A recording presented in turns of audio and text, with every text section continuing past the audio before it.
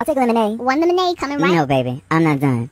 I want two cubes of sugar and stir it twice after each cube. Use a long spoon, not a tablespoon. I can tell the difference, so don't try me. Water should be at 55.7 degrees, and I'll take a splash of mint with lemon wedge on the side.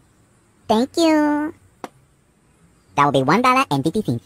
This ain't what I ordered. We know, but like, this is a lemonade stand, not a... All you can eat buffet. No, that's food. They got drinks too. Look, the customer is always right, and I'm not paying for this. Ah, Fresh lemonade, freshly squeezed. Billy, Heart in a cup. Billy, stop. Can't get enough.